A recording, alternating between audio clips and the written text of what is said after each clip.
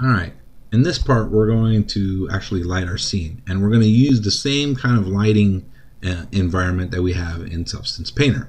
So let's go back to Substance Painter real quick. And in here, you can see the type of lighting we have. It's all based off the image in the environment. Now, in, yours might be a little blurred.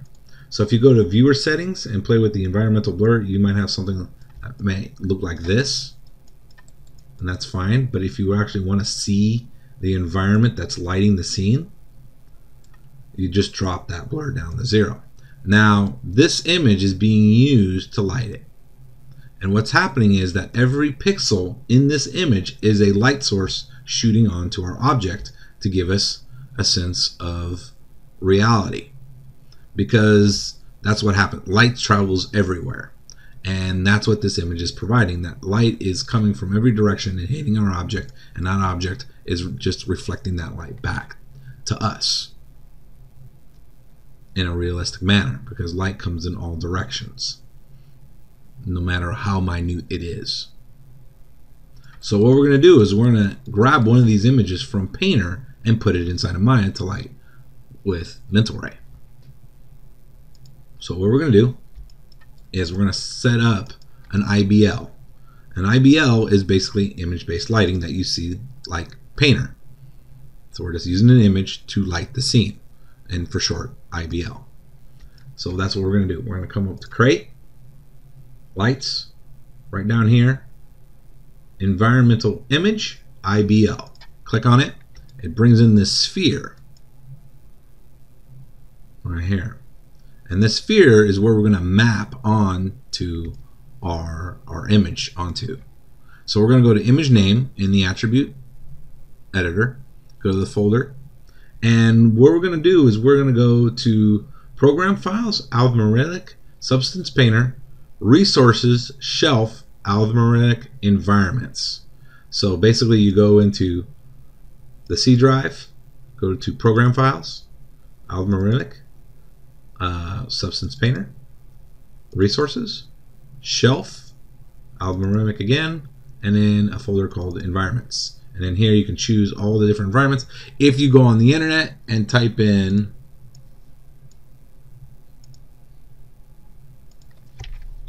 IBL,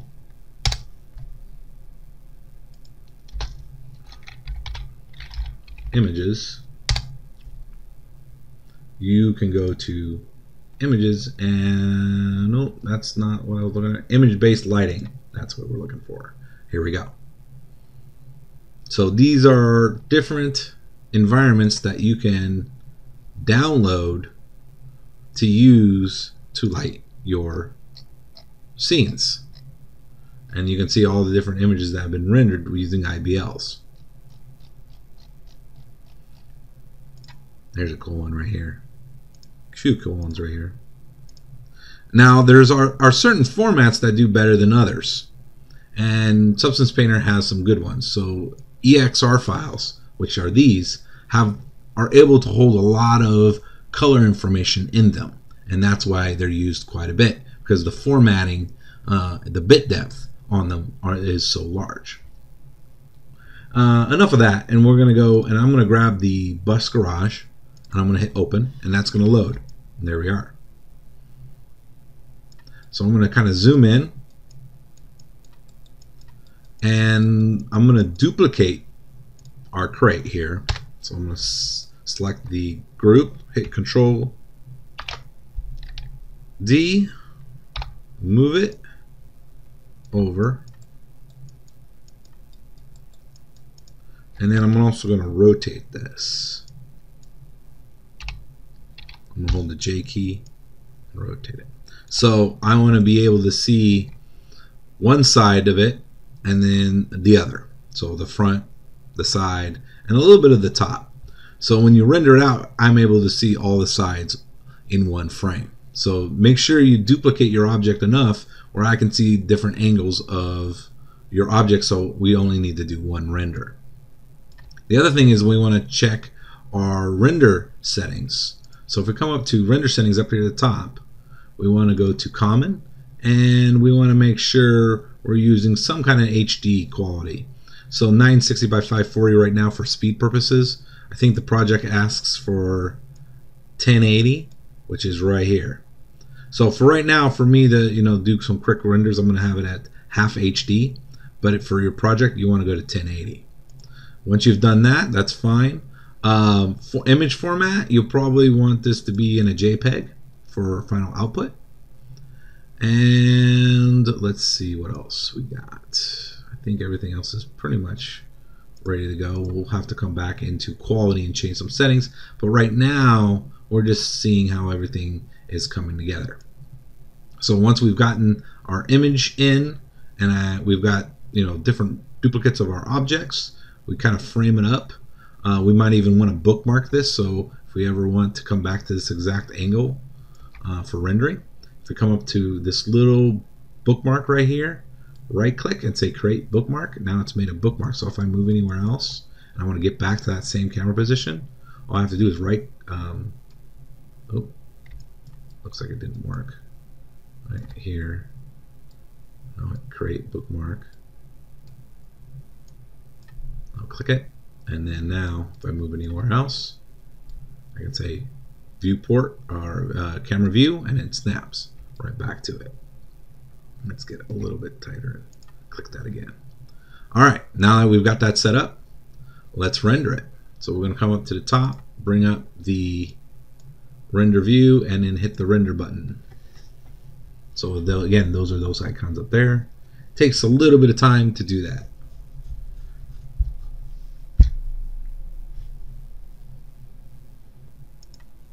So I paused the video and I let it render. It took about 52 seconds to render this image at default settings. So it's looking pretty good. Um, you can see it does a pretty good job rendering it out. It, it does get a little speckly on the sides here. And that's just, we have to start playing with our samplings and our quality to get a little bit better result. So we are going to play with that. But first, uh, let's um, get rid of the background. Uh, the background is doing fine. Uh, again, it's lighting our scene up, but I don't want to actually see it as an image in in the um, uh, final output. We just want to use it for lighting, but not for actual aesthetics. So I'm just gonna hide the render stats and hide the render view. And what I'm gonna do is I'm gonna actually kind of right, kind of just hover over and click on the IBL node, or you can come to the outliner and click on Mental Ray IBL. And what we're going to do is we're going to make it temporarily hide for displaying, but not for lighting. So once we've selected that, what we're going to do is we're going to go to the shape node of that IBL. So this Mental Ray IBL shape node. And we're going to go to render stats, drop that down, and then right here where it says primary visibility, it's turned on. We're going to turn that off. So when we actually render it, it's not going to show up. The other thing is our background for our camera is black. So we need to change that. So if we go up to the top here and click select camera, we're actually selecting the camera. And if we scroll down in the attribute editor, we come to environment. Click on that and right now our background color is going to be black. So basically we'll get the correct lighting on our objects, but the whole background is going to be completely pitch black. I want a little bit of a gray value there. Let's make it a little bit lighter right there. All right, so let's bring up the render view again. I'm going to save this out for comparison reasons, and I'm going to re-render it. So I'm going to pause the video and um, I'll be back in a few seconds with the render. Now we're back and you can see the result. See, got rid of the background and then also we changed the background color. So if I want to go a little bit darker, I can go a little darker with that background color. And then we don't have that image also. So it's looking pretty good, but now we need to get the quality of the render up. Right now, it's still taking about 44 seconds for it to actually render this scene. And the more we increase the quality, the longer this is going to take. It might take actually several minutes for it to render properly. So let's bring up the render settings because we really want the best quality possible. So overall quality, typically you can go from 1.6 to 1 to get some pretty decent results. I like using 1.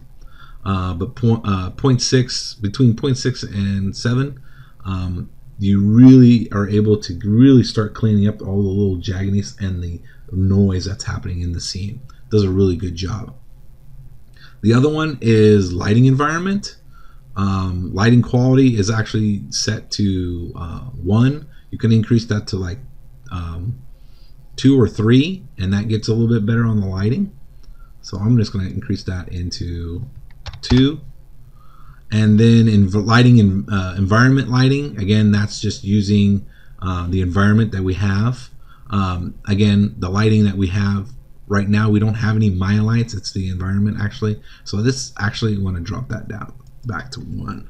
So excuse me on that one. Um, you want to use the environment line because we're using the IBL. This you want to increase that to one, and that does a pretty good job. Um, and then if we want to get a little bit better sharpening of our image. You want to get some nice crisp lines. This is where filtering comes in. And typically I like using Mitchell. Does a really good job. Just by defaulting to Mitchell and leaving the filter size to 4 to 4 usually does a pretty good job. But understand, these settings will make the image look better, but it will take longer to render. So that's what I'm going to do. I'm going to render it, and then we'll see the result from that.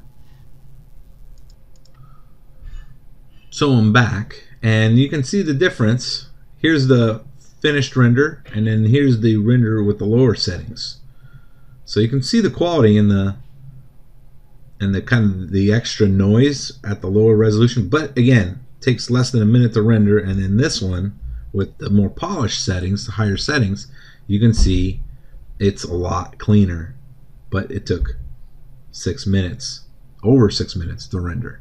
So Again, when you're getting closer to your final output and you're liking the results of your lighting, then you want to increase your overall quality. So again, overall quality I recommend is anywhere from 0.6 to 1.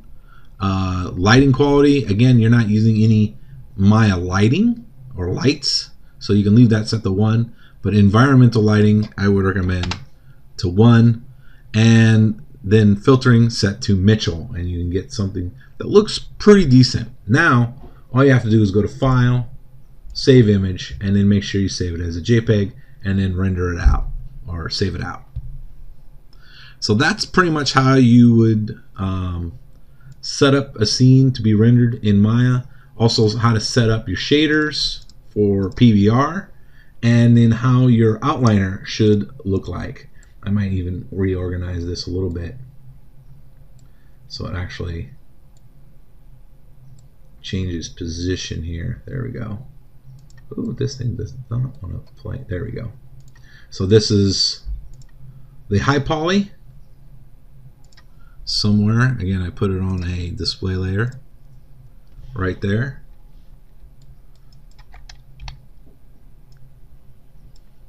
And then you got your two low polys, one from showing each angle of the sci-fi crate. And that's what should be in your scene when you turn it in. Another thing to make sure that you also have your image-based lighting in the Maya project directory in the source images folder. So again, we grabbed it from the C drive, and but that doesn't mean necessarily that every computer is going to have this image in the exact same location. So we all we need to make sure we grab that image that we're using for the background and put it in our Maya project. So let's go and click on the IBL. And if we go to the attribute editor and go to the uh, I, mental ray IBL shape node and go to the image name, you can see it's sitting somewhere on the C drive. It's not sitting in a Maya project directory because that's not where we grabbed it. So we need to make sure we get it, make a copy of this and put this in our Maya project directory. So I'm just going to come over here, grab, go to the folder, and then um, Bus Garage I'm just going to right click it. I'm going to copy it. All right. And then I'm going to bring up my Maya project directory. So here it is. I'm going to go to source images and in here I'm going to paste it in. There it is. So I copied it over and now let's reassign the IBL node to that texture. So I'll hit the folder again. Um, I'll go to wherever it is sitting on my computer.